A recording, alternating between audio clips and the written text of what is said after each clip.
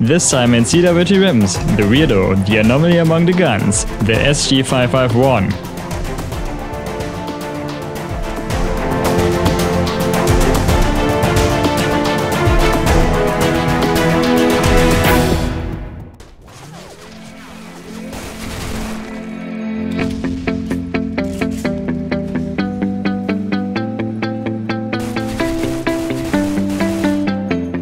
The SG551 is a shortened version of the SG550. It is especially useful in maritime and urban environments.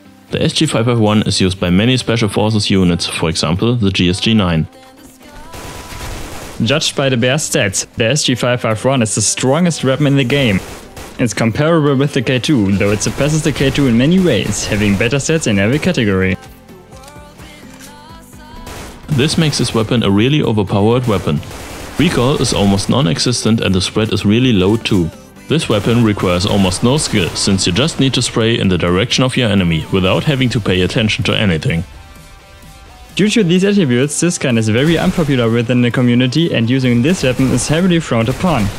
The balancing of this gun is completely off, which lead to it being banned from the ESL. Only a hack is able to compensate a lack of skill better than this gun. The SG551 doesn't really motivate a new player to work on his skills, which overall has a negative effect on the community in total.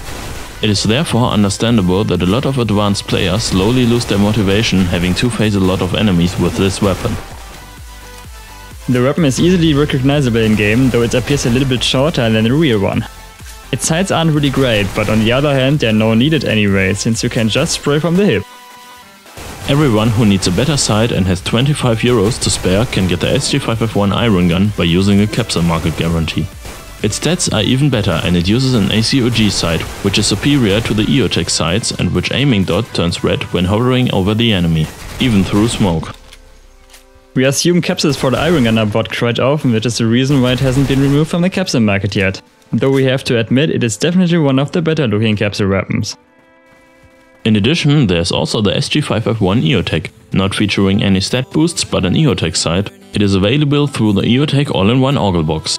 There have also been some other special versions of this gun, the SG551 Hard and the SG551 Halloween without any changes to their stats and just special camos. What's your opinion on the SG551? Do you think a change to its stats is imperative like it happens in other competitive games? Write it in the comments. Send us your gameplay for the next weapon and be featured in next week's CWT Weapons. Just send us an email with the link to your gameplay footage at fracks@foxdevil.de.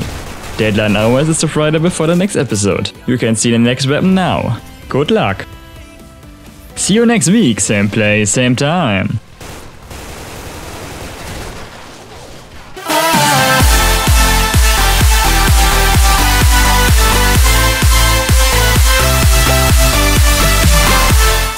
They are hot, they kick ass, but first of all they are deadly.